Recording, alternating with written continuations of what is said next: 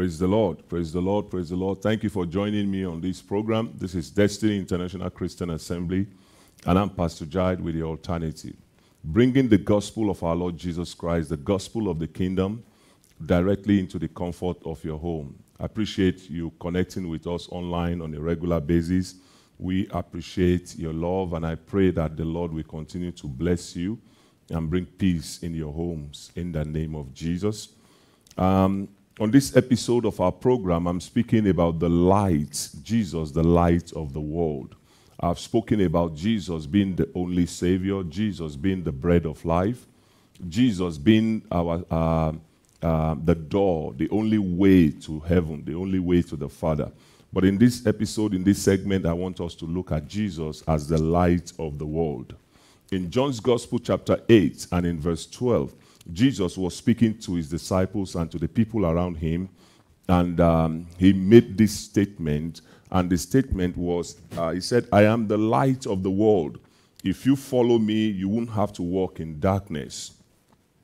And he said, Because you will have the light that leads to life. These are the words of our Lord Jesus Christ during the Feast of the Tabernacle. Now, if you know anything about the Bible and the Old Testament, the Feast of the Tabernacle was when God commanded the children of Israel to celebrate this feast so they can remember what he has done for them in the wilderness when they were crossing from Egypt to the promised land. They were living in tents, and uh, so they had to have some sort of light because there were no electricity in those days, obviously. They have to have some sort of light. And God became their light. He put a pillar of fire or pillar of cloud. And God says you should do this every year to, to celebrate this victory uh, that are brought to you and protection that are brought to you, and so that your generations after you will remember and appreciate what God has done for you as a nation. In this feast, Jesus was there, obviously, and um, he went into a place called Treasury. And while everybody was gathered there, we were told that at the entrance of the city, there were two massive lights that was, that was placed there so it can lighten the entire area, the environment, perhaps the whole city, so that people can understand and see and remember that God was their light. In the middle of all this, while people were jubilating and celebrating, Jesus made a statement. Obviously, they gave him the audience, and he said to them, I am the light of the world. In another word, the light you witness in, in Egypt, I mean, when you left Egypt, uh, is a symbol, it's a sign of what is to come. That was a, a way of God showing you that I will be in your midst. I will provide life for you. I will provide protection for you. But God has now come, Emmanuel, God has now come in their midst now.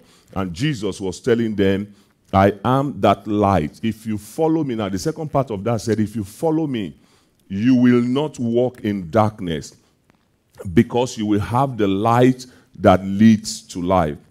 It is nice and great to have this massive light around you, but it's temporary. In another word, Jesus is saying, after some time, the oil will dry off and it will go away.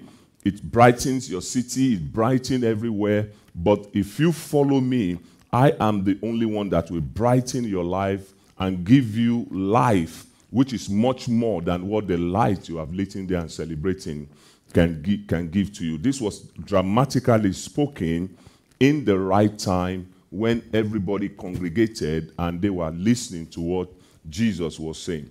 Now, it's important for us to understand what light is all about. What is light? Light is illumination and it produces from a sort of energy. Light always have its source. It does not produce itself, but has a source. In our planet, it is the sun that shines and gives us light during the day. Obviously, in the night, the sun goes away, and then we are in darkness, and then we need a natural light, I mean, um, artificial light to survive. So, in our planet, sun is what produces light during the daytime. Light represents life. Light represents life. It, this is why we read in the Bible that when Jesus came to them, he said, Anyone that follow me, I will give him life. Jesus gives us life in abundance. I am the way, the truth, and the life. Anyone that come to, wants to come to the Father must come by me. So, life in this context represents life. Number two, life also represents goodness. Before God says everything that He was made was good in Genesis chapter 1, verse 31, He said in Genesis chapter 1, verse 3, He says, And God said, Let there be light. Light is what brought goodness on the planet Earth. Before light came, the entire universe was, according to the scripture, was in darkness. Number three, light also represents knowledge. When we talk about knowledge, we're talking about knowledge of good and evil. Without light, you can't understand between the good, the things God wants or the things that God does not want. You cannot live right. You cannot understand things concerning concerning God. So light represents number one, life. It represents goodness, and number three, it represents the knowledge of good and evil. Knowledge is the ability to distinguish between things. It helps us to create distinction. So, when Jesus said, I am the light of the world, I want you to understand the idea here implies that everything good comes from Him. He is the source of all light. He is the source of light. As a matter of fact, in John chapter 1, verse 9, John the Baptist says that this Jesus is the true light that lighten every man that comes to the whole world. So we understand that Jesus is the light of the world, is the true source of light, He's the true source of knowledge. And we cannot deny that. What then is darkness? If we understand that light is life, light is knowledge, and light is goodness, what is darkness? Darkness, um, as I'm going to explain it, is the absence of light. Darkness is the absence of light. Darkness has no source, but light has source. Darkness is when light has departed, then darkness remains. When light comes in, light darkness departs. So darkness has no source. Darkness manifests only when light is present. Light comes, darkness disappears. Darkness in the Bible refers to number one, evil. Number two, sinfulness. It is used to refer to death and disobedience to God and His will. That is what darkness represents in the Bible. It is also used for ignorance. When someone is ignorant of the things of God, the Bible says he lives in darkness. You can be spiritual, you can be religious, but you might be you might not have the knowledge of God, the right knowledge of God.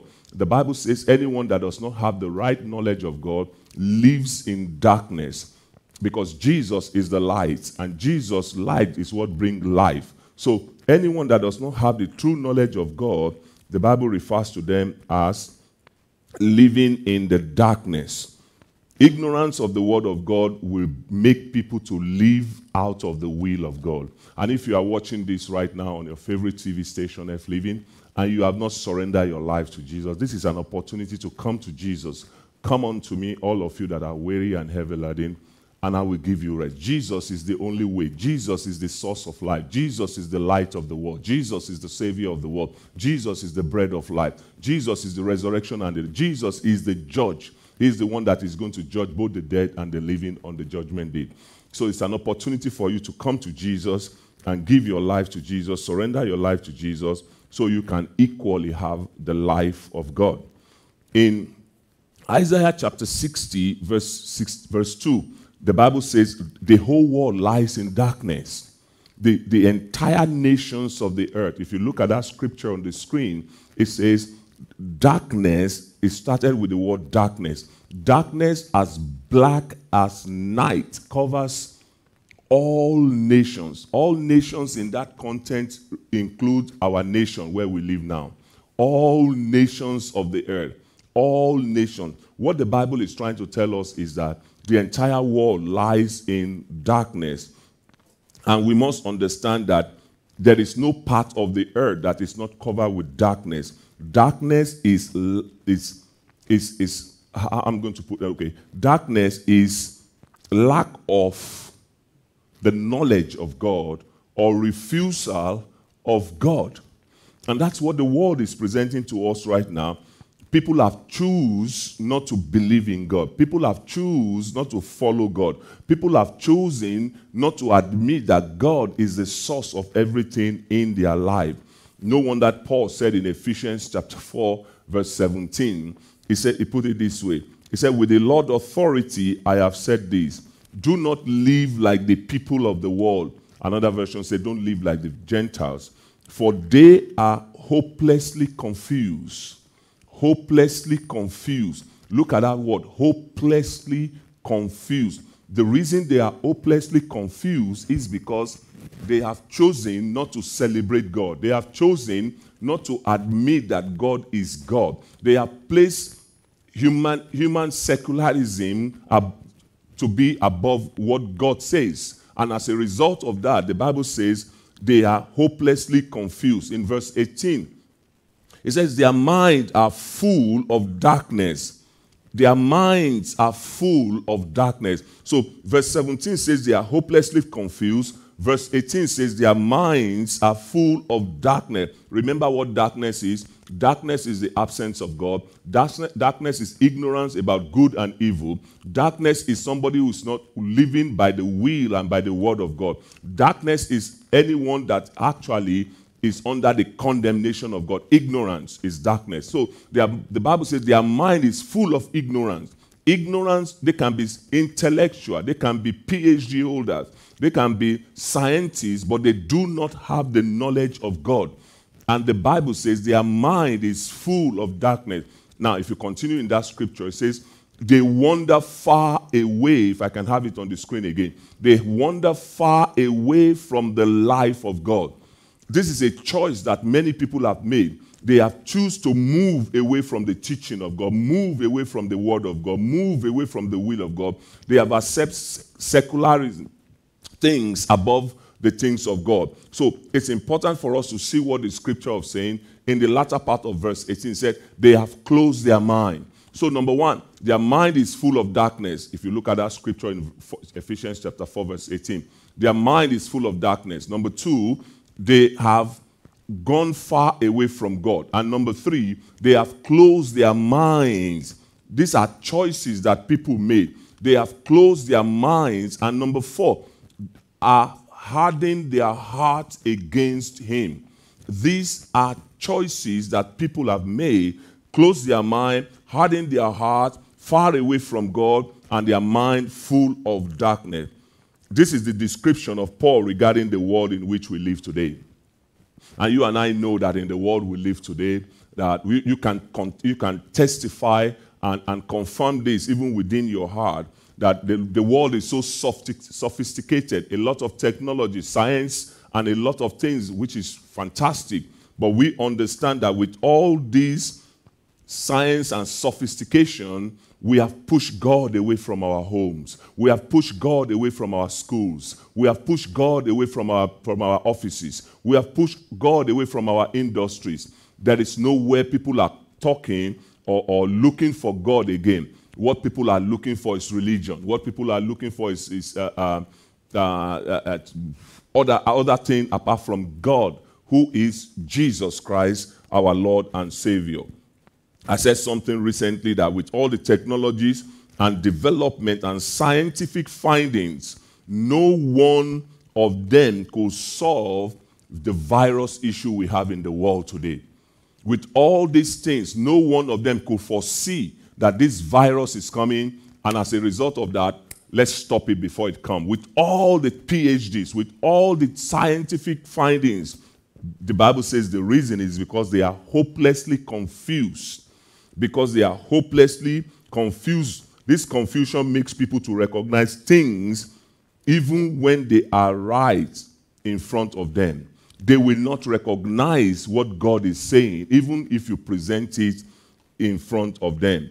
Whenever God moves, we will, they will deny God move. They will have to take the things of God into lab or, or uh, to go and use telescope or something to find out about God. I said this many times. If God stand in front of them right now and do all kind of things to prove to them that He's God, they will still deny Him. because their minds are full of darkness. They have wandered far away from God. They have closed their minds about the things of God. They have hardened their heart against God. So, no matter what comes around them today, they will still deny God. They will still want to follow the things that bring perverse, perversion, the, the, the perversive knowledge, instead of the knowledge that leads to God knowledge that the, the, only thing, they know everything. As I've said many times, these scientists and, and PhD and, and intellectual people, uh, they know everything, but they fail to know the things that is most important, which is the knowledge of God. Just look at the technology of today. Each one of them is designed to lead us away from God. And this is why I said many times in the church, use the technology as much as you want to do, but make sure that it leads you to know more about God. Their minds are closed. I call these futilities of mind. When people think that they are so smart and they know everything more than they, they, they and they are clueless about the revelation of Jesus Christ. That's futility of mind. That's futility of mind. And we see people today trying to create what they believe is God out of laboratory. They go to laboratory to create their own God. Can you imagine that? Can you find God? The Bible says that it's not man that can have the finding. Findings of God is deeper than the knowledge of any man. You come to God by faith, you believe God by faith. Without faith, it is impossible to please Him. So people try to take God into the laboratory. They're using artificial intelligence to analyze God. It doesn't work that way. You will never find God that way. And, and that's what I call futility of mind. But we all know that one day, very soon, we are going to present ourselves before God and we are going to give account. Listen to me, either you believe it or not. The Bible says that God has appointed a day in, in, in Acts chapter 17, verse 31. God has appointed a day where He will judge all men. And He will judge all men by this one man who is called, who is called Jesus Christ. And this is why we are bringing the gospel of Jesus into the comfort of your home. We are not we are asking you to stay at home and we will tell you about God. We will tell you about Jesus. We will tell you about eternity. We will tell you about what God wants, what God desire, what God require out of us and and if you're watching this now in your heart, you will agree with me that the world is getting worse. We cannot get it can listen, it's going to get worse than this. And this is why we're calling you to surrender your life to Jesus. We're calling you to obey the word of God. We're calling you to come to the rescue. Salvation is only in Jesus. Sa- safety is only in Jesus. Take as much of vaccination as you want to take, and, I re- and I'm not against vaccination, but with, without God protecting you, without God protecting you, and listen to what Jesus said. He said, I'm the light of the world. Listen to this. If I have that scripture again in, in John chapter 8, uh, he said, I am the light of the world. And listen to what he said. If any man follow me, he said, he will not walk in darkness. Darkness in that context, it has to do with oppression of the devil. Remember, I said darkness is evil. And, and evil come from the enemy, come from Satan sickness, disease, oppression in the night. You wake up in the night as if somebody is strangling you, as if you wake up, you know, all this kind of disease that is coming into the world comes, the source of them is darkness. But Jesus said, if you follow me, you won't walk in darkness. This is why we are calling you to surrender your life to Jesus, because Jesus declared that he is the light of the world. Look at what John the Baptist said in John chapter 1, verse 9. John said this Jesus is the true light that gives every man that comes into this world light. That's what John said. John chapter 1, verse 9. Jesus is the true light which lightens every man that comes into this world. So if you need light in your life, you need Jesus. If you need illumination in your understanding, you need Jesus. If you want to understand what is going on in the world right now, you need Jesus. If you want to be able to explain properly and interpret the situation the world is facing right now, you need Jesus. John said Jesus is the true light. Light is revelation, light is illumination, light is knowledge. We say it in the world. Knowledge is power. If you know a thing, then you have dominion over that situation.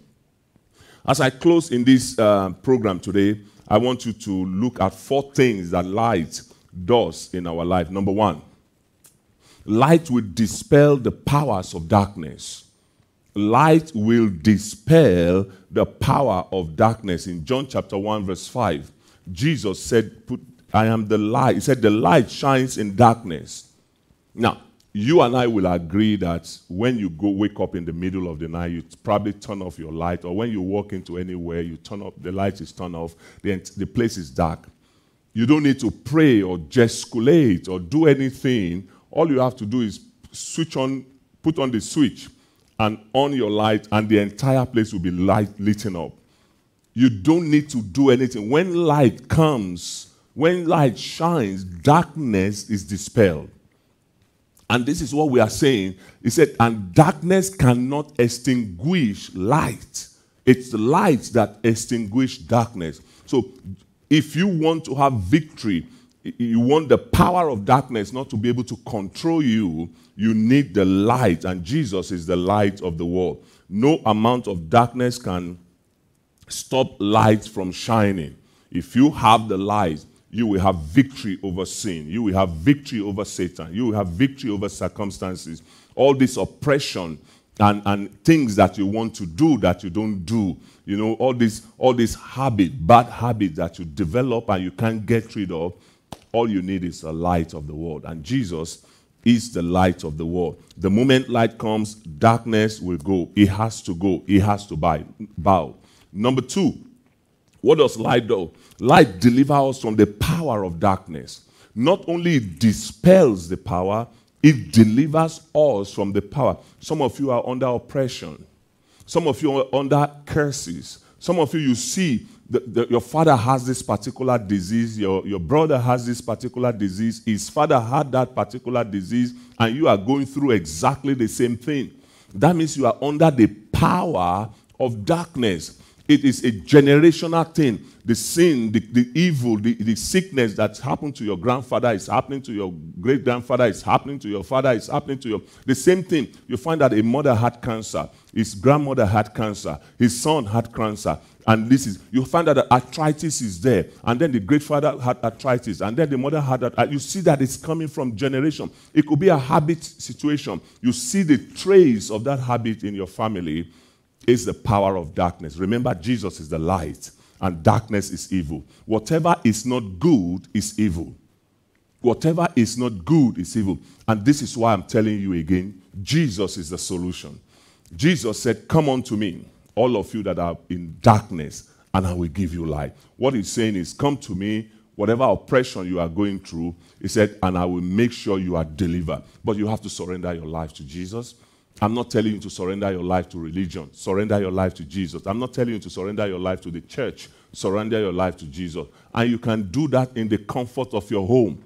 You don't have to stand before any man to confess your sin. You can confess your sin directly to Jesus, and he will forgive you. If anyone confess, John, um, 1 John chapter 1, verse 9, if any man sin, let him confess his sin, and is faithful and just to forgive all our sin. 1 John chapter 1, verse 9. So this is very, very important. Where you are, where you are watching, either you are watching in your kitchen, in your bathroom, in your car, wherever you are watching, if you confess your sin, God is faithful.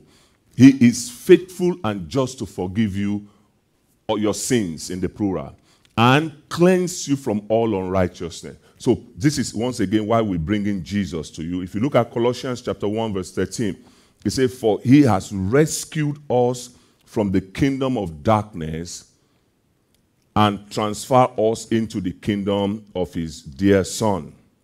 He has rescued us from the kingdom of darkness and he has transferred us into the kingdom of his dear Son. No matter the darkness in your life, Jesus will set you free today.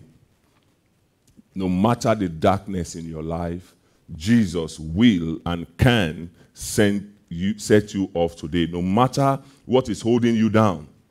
It may be bad habits, as I've said earlier on. It may be a curse in your family. It may be a generational thing, as I've said. It may be sickness. in your body or in the body of your loved one. You've gone to the hospital. You, you, you've taken medication. Maybe it's hypertension. Maybe it's, it's um, depression. Maybe, maybe it's high blood pressure. Maybe, you know, the doctors will tell you all kind of things. And the doctors are fantastic. Without them, you know, we, we, a lot of people could be miserable today. But if you bring that to Jesus and you have faith in Jesus and you will surrender to Jesus, He said, I am the light of the world and I will deliver you from the kingdom of darkness. So come to Jesus today. Surrender your life to Jesus today and see what Jesus will do in your life. Number three, light not only uh, dispel the power of darkness, light not only destroy the power of darkness, but light also disseminates the, the, the, the knowledge of God. It spreads. When you have light, you have knowledge when you know a thing, abuse, you cannot abuse that thing. If somebody tells me, you know, where I'm standing now, uh, we to go to to go to uh, Gozo, we need to go to Shemshia, and then we take the ferry, and then we go to Gozo. And then somebody comes to me and say, no, no, no, no, no, you need to go to Marsaskala, pass Halfa, and then you're going to you, because I know that that is a wrong direction. I will not follow that. So, not light disseminate, it, it spreads the knowledge of God. And when you have the knowledge of God, you will not be confused about anything. In Second Corinthians chapter 4, verse 6, Paul tells us there that let, there, let there be light in the darkness and has made light to shine out of our hearts.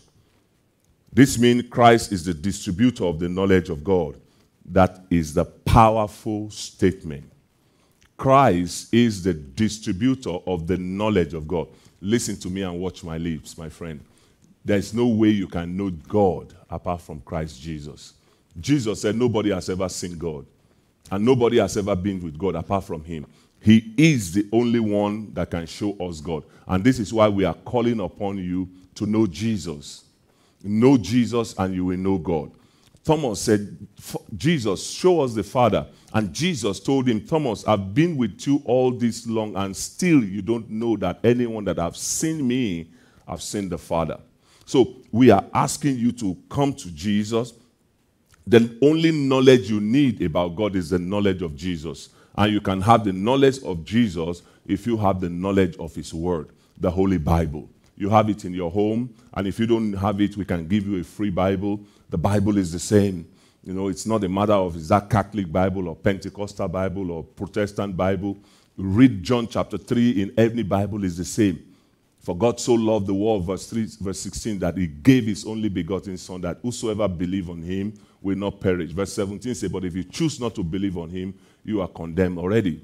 So this is very vital. In John chapter 4, verse 40, John chapter 6, verse 46, Jesus made this statement I'm um, sorry, John chapter 1, verse 18. Jesus made this statement. He said, No one has ever seen God but him himself. And he said, Himself is God.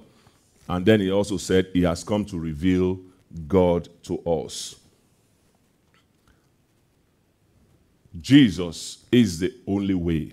Jesus is the only truth. And there is no knowledge out there in the world that is superior to that, the knowledge of Jesus. Scientific knowledge, um, the scientific journal, and they have all kind of findings, but they have not found that Jesus is the Son of God. And I'm, and I'm telling you that you, you don't need to rely on those things to know God. Rely on them for other things, but when it comes to the knowledge of God, you need the knowledge of Jesus.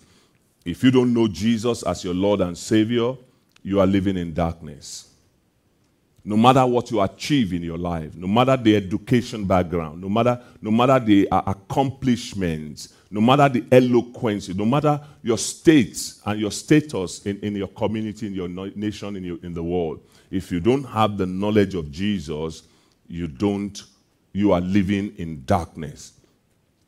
And I pray and I hope that this teaching will bring you the understanding that you need to have to know Jesus. Finally, what does light do?